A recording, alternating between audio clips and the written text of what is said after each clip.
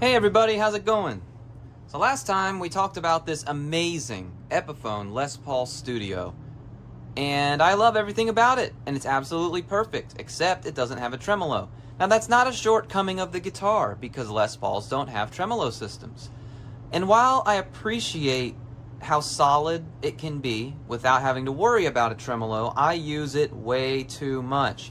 Whenever I go to a guitar center and play one with a tremolo, my wife always makes fun of me and calls me Steve Vai, not because of how amazing I play, but because of how much I like to use the tremolo. So, I wanted to find something that I could put on this guitar to give it a tremolo system. Now there is the Floyd Rose FRX. That's very ambitious. It requires drilling into the headstock and replacing the nut. I'm okay with doing that, but not on this guitar. This is a very special guitar to me um, because it's a Christmas gift from my wife. It's the first time she ever bought me a guitar, and we've known each other, been together for about 10 years now, and she nailed it in every way. I love this guitar. It's perfect. Um, so I wanted to do something that was reversible, and I found this. So this is basically, there's a tremolo system called a Duesenberg Les Trem, and it's this. But this is not a Duesenberg Les Trem. This is by Guyker has a very generic name. Um, I will link it in the description if you're interested in it. Um, I'll let you know if you should buy it or not after we install it and try it out. But it's very simple. Now, this is not, there's a little, uh, you can screw this in and get it to stay. But let's take that arm off for now. So basically what this is, is it replaces this piece right here. And it's totally reversible. So it just goes in where that normally would go. The strings go into it. And then it's got this little hinge system. And you use this to move it down. And the spring pushes it back up to its maximum point. Turn the strings to zero. So it's, think of it kind of like a Bigsby, but not quite as big, bulky, or complicated. This is really a really cool invention. And uh, those Les Trems can be expensive. This is less than $100. I think this was 60 or $70 on Amazon. So I'll put the link in the description. And again, don't go buy it yet. Uh, either skip to the end or wait, and we'll talk about whether you should get one or not. Um, yeah, so the reason that I'm making this uh, video is there's not really any details about these things out there, this specific one anyway. There's some about the Les Trem, but when I was researching this, I couldn't really find anything on the Guyker version. Um, it's about $70 on Amazon, uh, give or take. At the moment, there's a gold one and there's a silver one.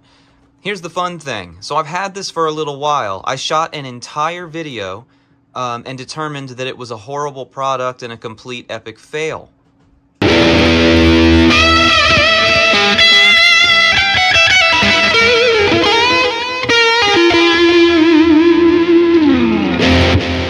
Well, it was going to pass with flying colors, but then... Uh-oh...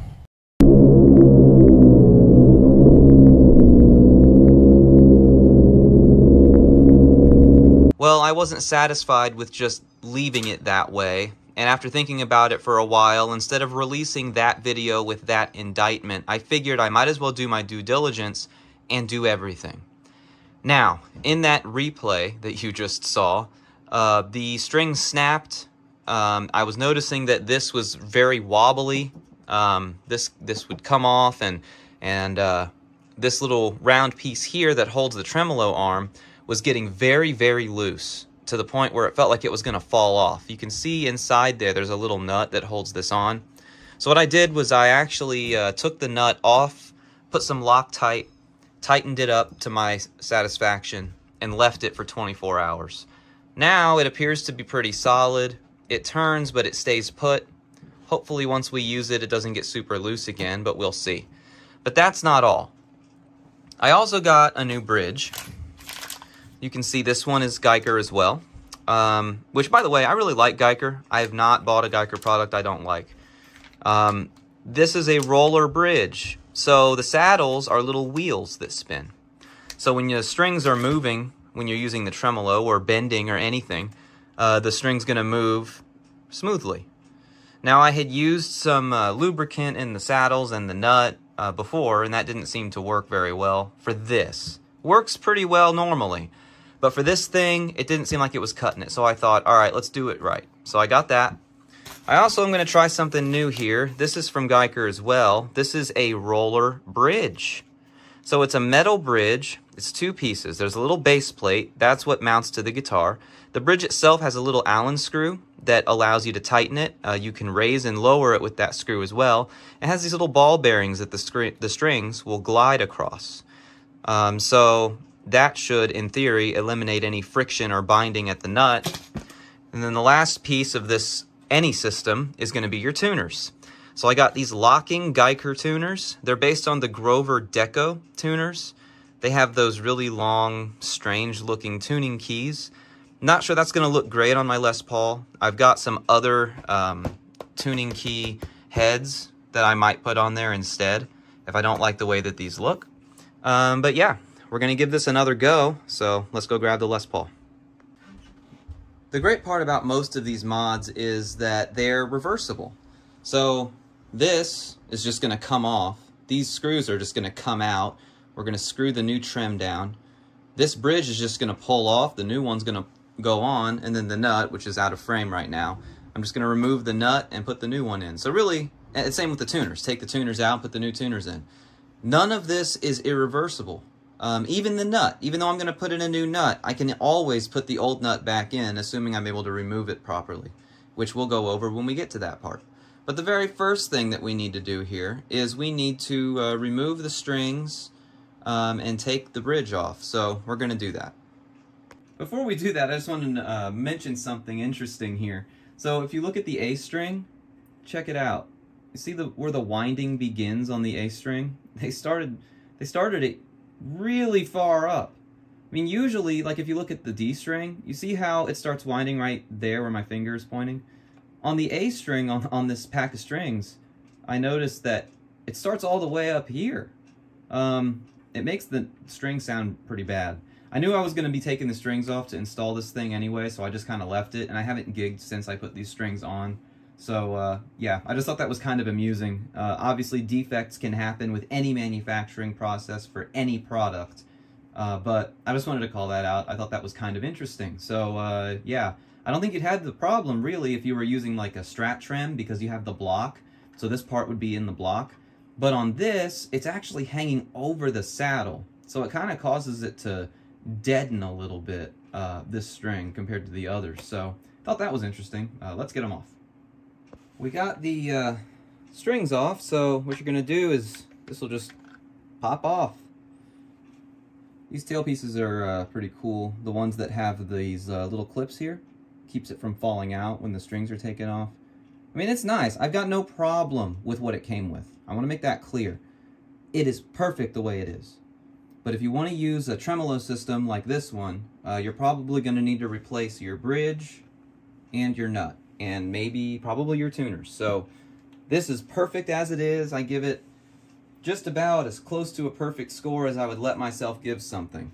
so uh, anyway, so once you've got that off, you're just going to take these uh, posts, you're going to take a flathead, and you're going to uh, unscrew those. So let me go grab one. Okay, let's uh, get these out now. Okay, these are out. So as you can see, there's a little hook on here, a little gap. That's the gap where the bridge hooks on. And then the uh, new one, for the tremolo, you'll see that it doesn't have the gap. And the reason for that is, oh, I dropped it.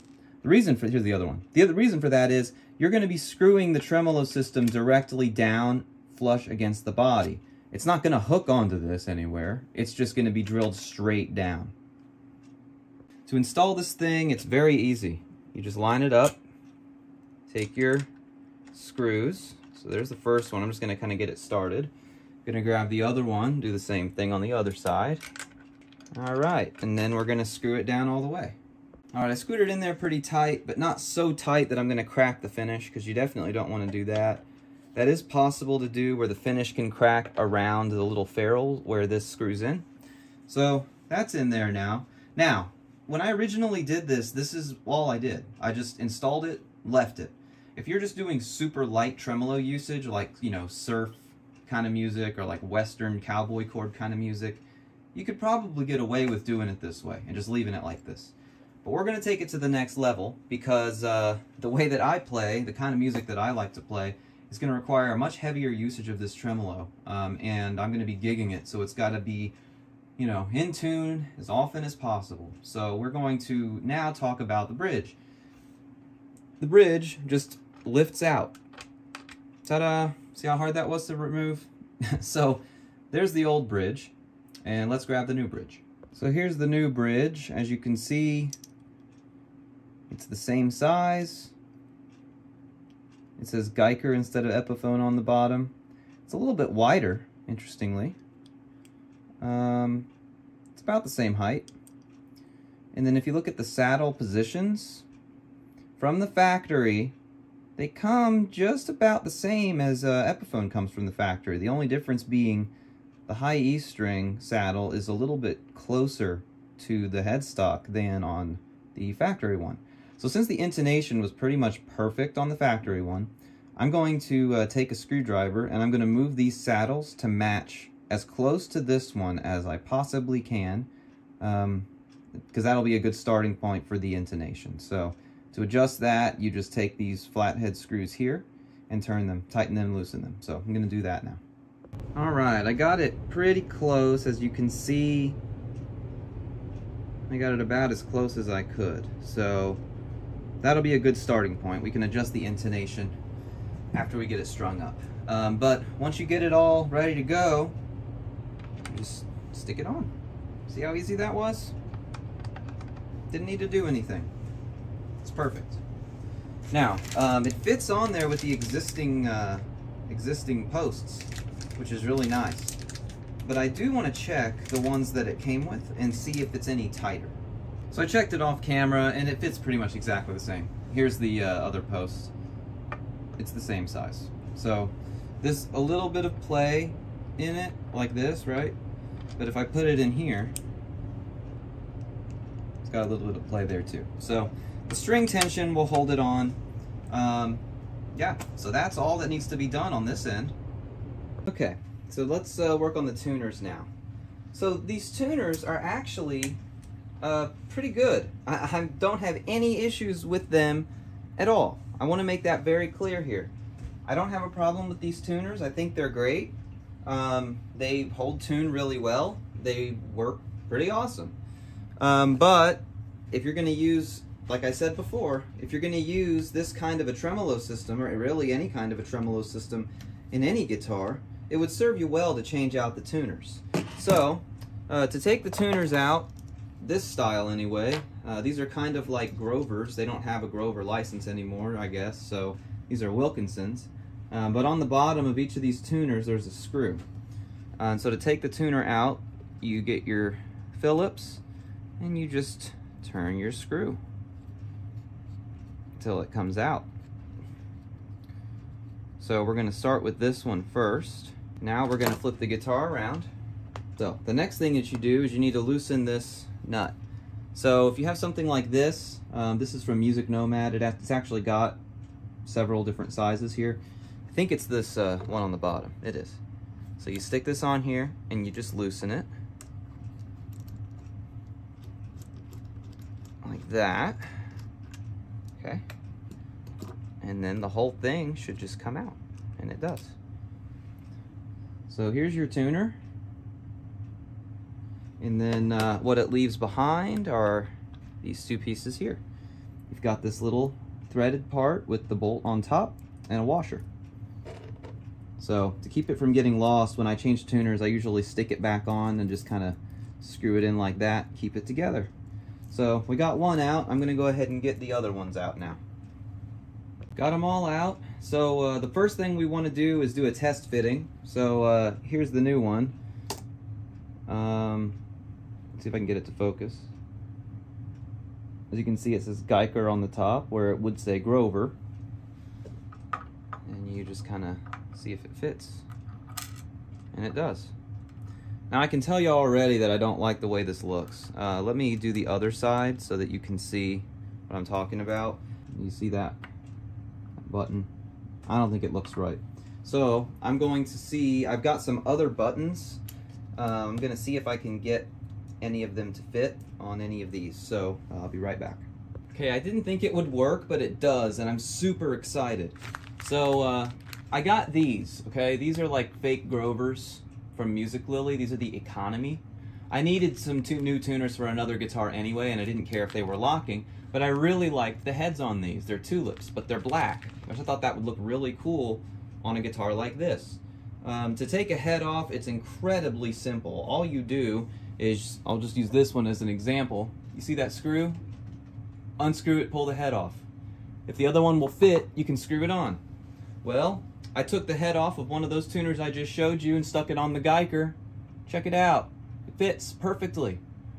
Stuck it on there and screwed it in. So now I've got some black tulip head, and these are nice. These are these, uh, and those tuners were only ten dollars. It's worth almost ten dollars just for the heads, and I also got a whole set of tuners out of them. So there we go. Um, I'm going to install these. I'm really excited, and they're locking. They've got this little locking wheel.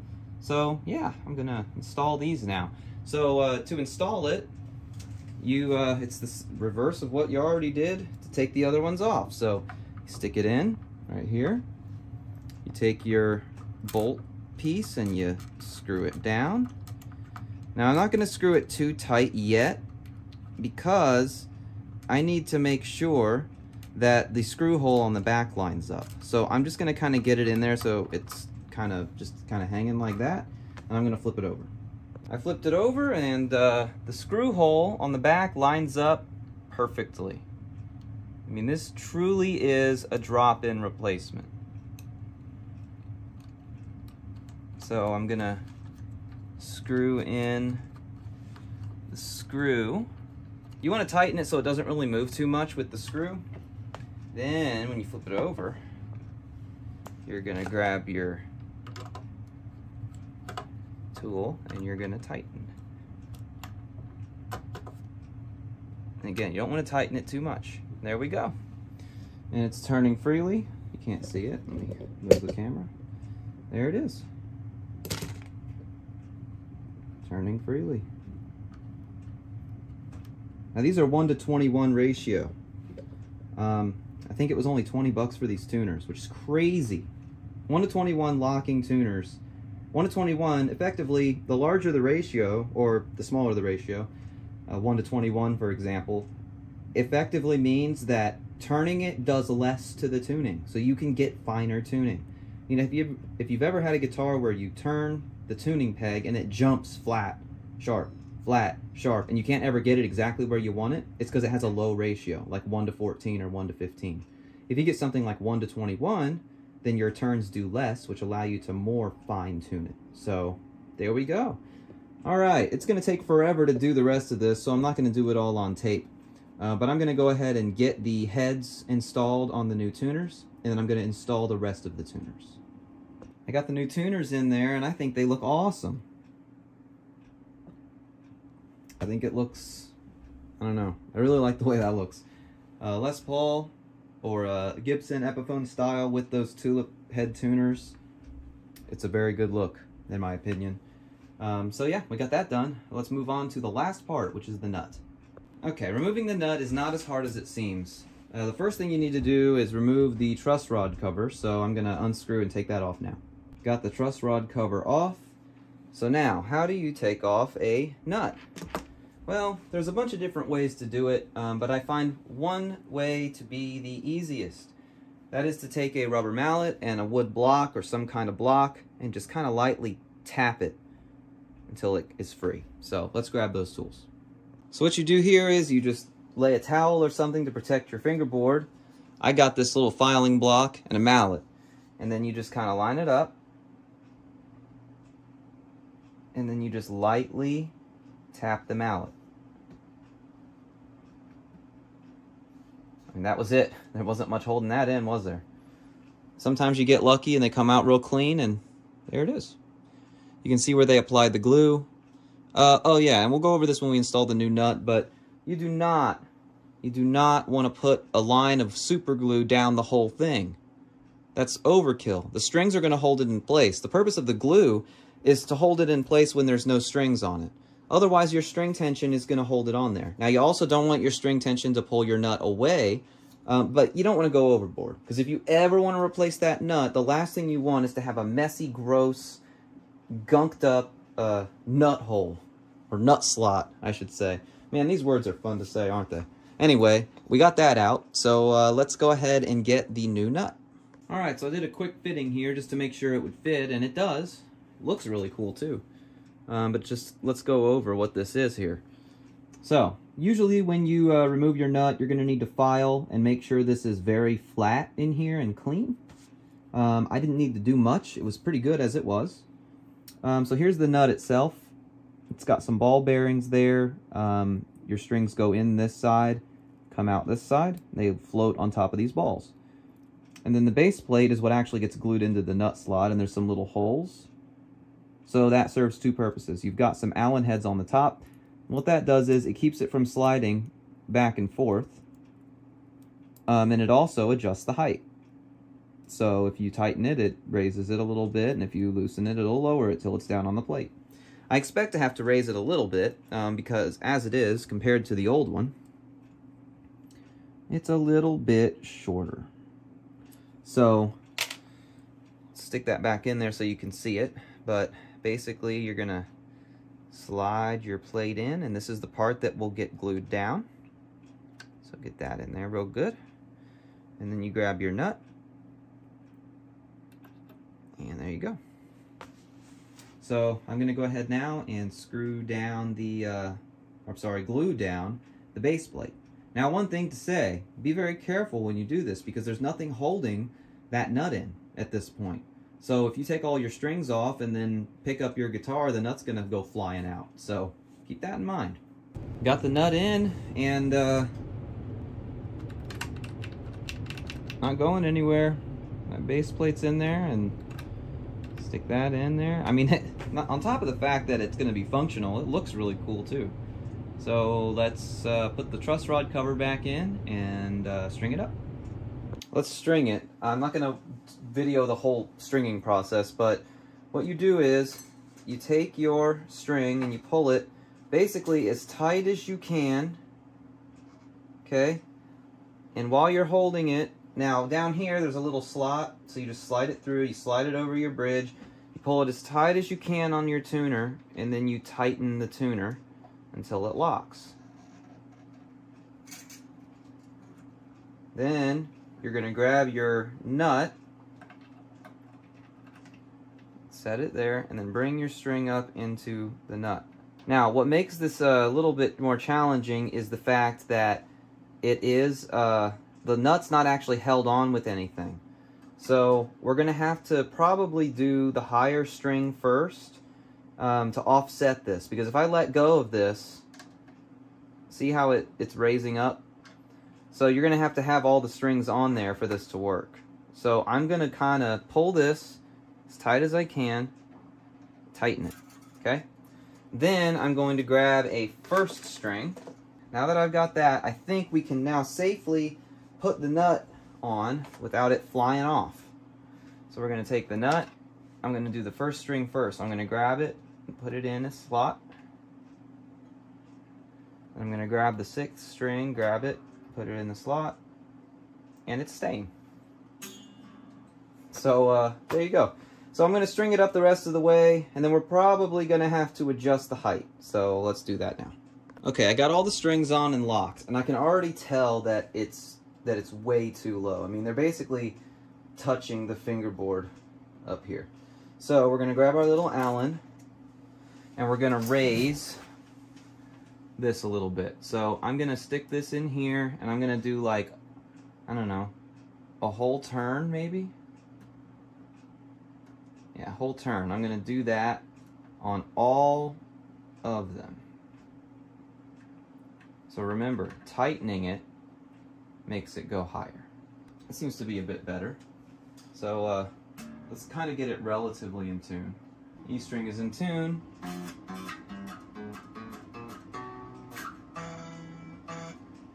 That'll probably be good enough. So I'm to do the rest of the strings here, and then I'll come back. It's all strung up and ready to go I think it turned out really well as far as appearances. That nut it's pretty cool looking, isn't it? There's those tuners with those tulip pegs. I love the way that looks. come down here. There's our roller bridge. There's our Guyker trem. I think it looks pretty good, guys. I mean, is this going to achieve my goal of being the ultimate perfect guitar? There's only one way to find out. Okay, so here we are. Got it all ready to go. We got the tremolo arm here ready to go. We got the locking tuners, the rolling nut. Um, and let's see how it sounds. So I have it on a clean channel right now. Um, we're using this amp back here.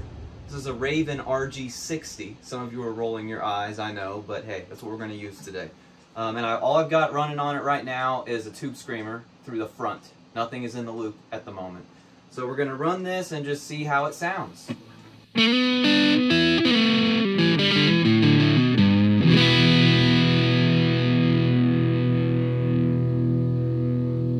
I'll say right off the bat, I can tell it sounds a little bit brighter because of this metal nut.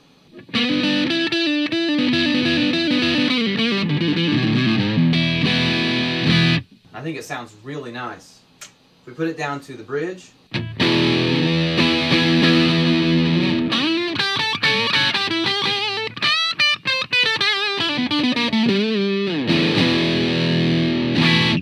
Sounds pretty good. Um, but let's actually use the arm. So, uh, I don't know, let's just do something like this.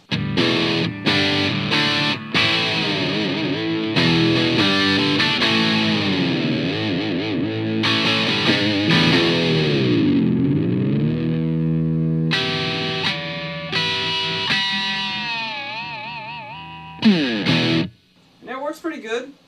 I like it. I mean, it doesn't have as much range as a Strat, but uh, let's kick it into some higher gain though.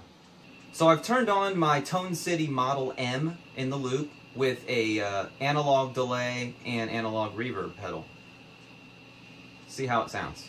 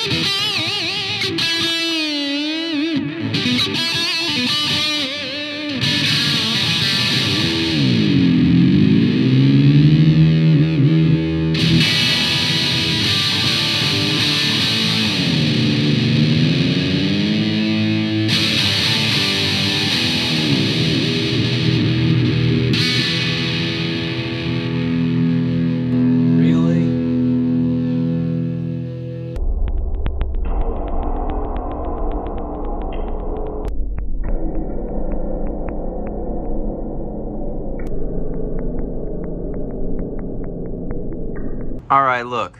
I'm not going to give up on this, okay? I'm not. Um man, that pisses me off that this keeps happening. But I I looked this up and it turns out that this is a known issue with the Les Trem too, so like the name brand. This is obviously not the real one. This is like a knockoff version. Um and people are saying that like these little round spots down here are get sharp and uh, cause the string to get cut at the ball end. So right here, and then on the other end, where it opens up right here. Um, I found a guy talking about this saying that you should file inside there. So I did that. I filed and rounded it off. And then I did something really stupid. I wrapped the string with tape. Both the ball end and the uh, actual part where it wraps. I have no idea if this is going to work, but this is painter's tape. I also don't know if this is going to deaden this string or not. So uh, I'm going to go ahead and string it up now and see what happens. Okay, so sorry about the janky camera angle and stuff, but like I'm literally working on this right now on my workbench and I uh, wanted to show you. So you can see that string's in there wrapped in tape. Check it out. So here's how it sounds, just that string. It doesn't sound deader. didn't affect the sound at all, actually. Um, and it's wrapped pretty good with some tape. So, I mean,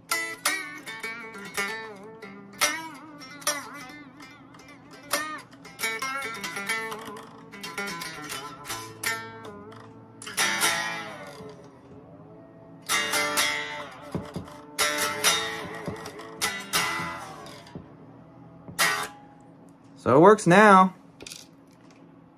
I guess so what I'm to have to do now is restring the whole guitar and wrap tape around every string. There we go. It looks absolutely ridiculous. But I wrapped all the strings in tape. So all these exposed edges are covered now. Now, I would think that if it was sharp enough to cut a string, it's probably to be sharp enough to cut tape. But now that's two layers it's got to cut through. So I think this will probably do the trick. I mean, it looks kind of stupid, but uh, I think this will probably hold. All right, so here it is in all of its taped up glory down here. Um, we're just gonna try this again. I, I, don't know, it's, it's hard to say because I could do this and it could work and then in five minutes it could break. So uh, that being said, let's see if it's uh, if it sounds any different. I don't think it will. So uh, let's go on the neck. This is with nothing clean um, on the tube screamer, Ibanez.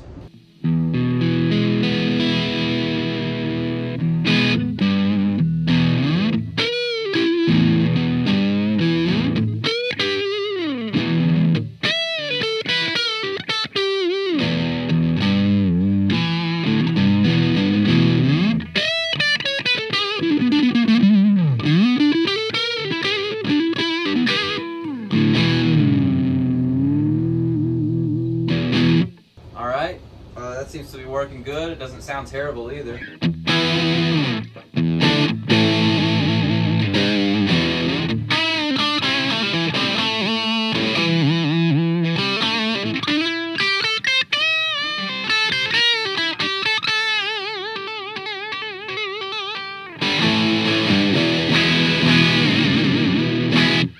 Alright, let's uh, kick it into overdrive. So this is the setting with the Tone City Model M and the uh, reverb and the delay in the loop, the tube screamer is off.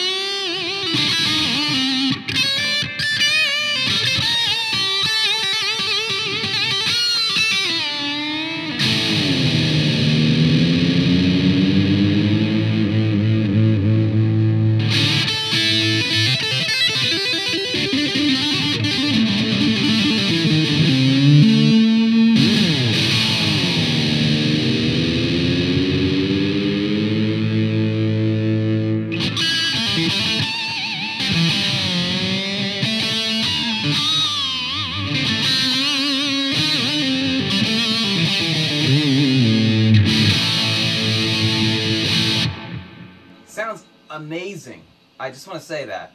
It sounds amazing. It plays amazing. But I'm so scared now. I mean, this is that was the second time. Second demo that I recorded. String broke the second time. Hasn't broke yet. Um, but damn, does that sound good.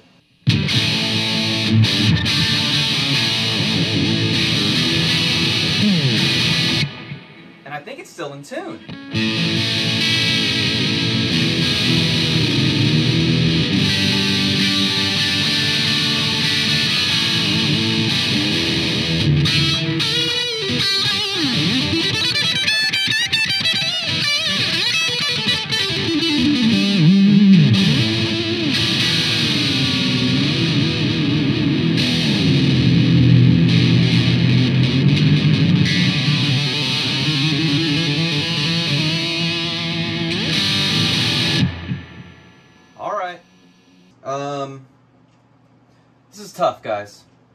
Because if the strings didn't break,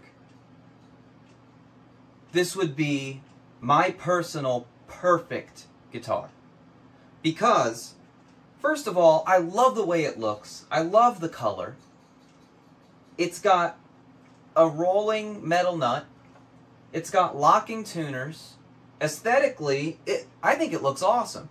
This thing looks kind of, uh, I mean, it kind of takes away from the classic look of a Les Paul. It's not as over the top as a Floyd Rose FRX or something like that, um, or as chunky as a Bigsby. You know, it's minimal enough that it doesn't really make it super ugly, but uh, but as far as function, it does everything. I mean, it does everything. This guitar's got push-pull. We didn't really do that in the demo. But it's got push-pull, which means that it opens up so many tones. And the only thing I felt this guitar was missing was a tremolo. And I know that Les Pauls don't have tremolos. They just don't. That's fine. I know that. I thought I could retrofit one and make it work for me. And it does work. I've got the rolling bridge, the rolling nut, and the locking tuners. It does work, but the durability remains to be seen. I have no idea how durable this is going to be. I don't know if it's going to get me through a show or not. I'm tempted to take it off and throw a regular stop bar on here for my next gig in a couple days. Um, but the only way I'm going to know if it's going to hold up is to try it. So, I am going to gig this. I'm going to take probably my SG or something else with me as a backup. Um, if a string snaps, I'll be ready to go. Grab something else. Um, as far as my recommendation, man, it's tough. If you're just going to be doing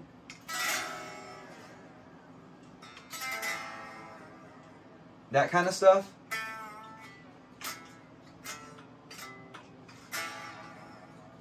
then get it. No questions asked. It's perfect. But if you're going to be doing If you're going to be using it, you know, like that, it will do it, but I can't guarantee the strings aren't going to break. Now, if you get in here and you file all these really well and you polish them really well, it'll probably be fine. But don't expect it to just be a drop-in. It's not that simple. Even if you're just doing light surfy kind of stuff, you know, tremolo kind of stuff, real light, you're still going to want to do a roller bridge, probably. Locking tuners, probably. Roller nut, I mean, maybe it's a gimmick. It works, and I will tell you, this is smooth. I mean, before, when I did this the first time and I had my original nut, my original bridge, uh, that felt kind of hard to do. It's super easy to do now, and it returns to tune really well. It's a little bit out now because half these strings on this guitar are brand new, but um, yeah, my recommendation, if you're going to use it lightly, go for it. If you're going to use it heavily, be prepared to do some extra work.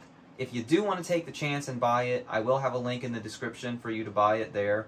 Um, it'll help the channel out if you do that. I'm also going to link the tuners. I'm going to link uh, the tuners I got the heads from, these tuning heads. Um, I'm going to list the bridge on there as well, uh, and the nut. So if you want to buy any of or all of these things, you can use those links. If you want to try Fender Play free for 14 days, you can use my link. And if you want to buy anything from the Fender shop, use my link as well. You can also follow us on social media. I thank you very, very much for watching. I appreciate it. Please subscribe if you like. Um, and one thing. This amp back here, you're probably like, what the hell's going on? Why is he using that? Isn't that the worst amp ever? Weren't those things in Guitar Center everywhere and then they just disappeared overnight and now they're a laughing stock? Aren't they awful? Well, maybe next time we'll do a deeper dive into that and I can tell you, is the Raven RG60 the worst amp ever or is it a hidden gem? Find out next time. Thanks again. See you later. Keep on rocking.